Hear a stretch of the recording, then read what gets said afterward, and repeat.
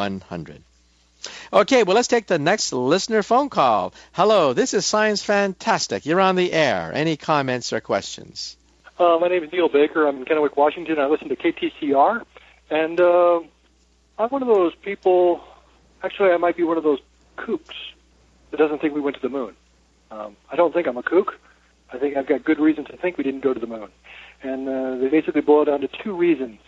One is that the spacesuits that the astronauts are in are impossible, and the cooling system is preposterous.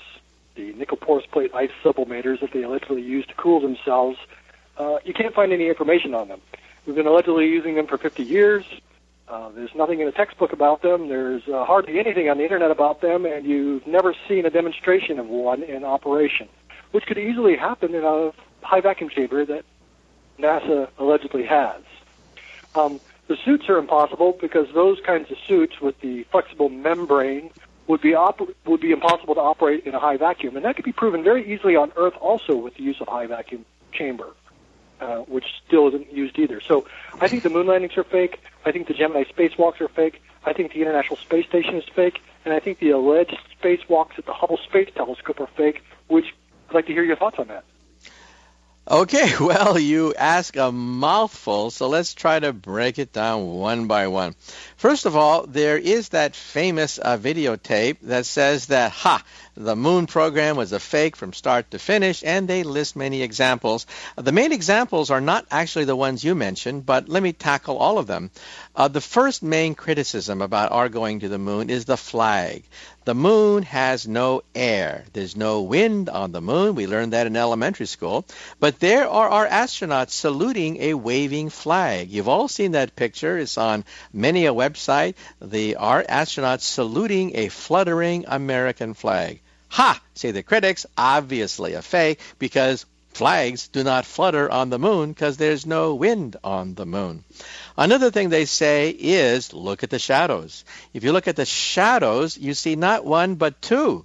And the shadows seem to be at different angles. Now, how can you get two sets of shadows unless it's a Hollywood movie set? Aha! A Hollywood movie set. Then you have a bunch of lights, and of course, the camera crew don't keep track of the shadows. And one of them slipped out, and there it is our astronauts on the moon with two sets of shadows, obviously Hollywood shadows, nothing to do with a real moonwalk. And you mentioned several others, but let's take them one at a time. First of all, the flag that flutters on the moon is not really a flag at all. It's made out of tinfoil, for God's sake. Look at the video. In one video, you actually see the astronauts putting the flag on the moon, and you clearly see that it's made out of tinfoil. It's solid. It's not a flag at all made out of cloth. So of course it doesn't flutter. It's actually bent out of shape precisely to give the illusion that it's fluttering. But of course wind does not blow on the moon. Also, if you think about it, if you have a starry night with the moon, uh, of course there are two sets of shadows you can see because the moon also casts a shadow. Well, Earthshine is much brighter than moonshine. And as a consequence, of course, you're going to get multiple shadows on the moon because you have sunshine and you have earthshine, which is, as I mentioned, much greater than moonshine. And then you mentioned suits and cooling systems, and hey, let's back up a bit. First of all, on Earth, we have many vacuum systems by which we can test our spacesuits. In fact, I took a film crew from the Science Channel we flew out to Ohio where we have one of the world's largest vacuum chambers. We test entire booster rockets, not just little spacesuits.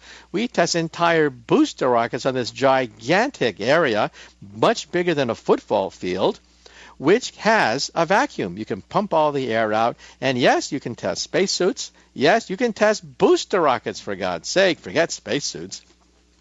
So we know that these systems can operate in the vacuum of space.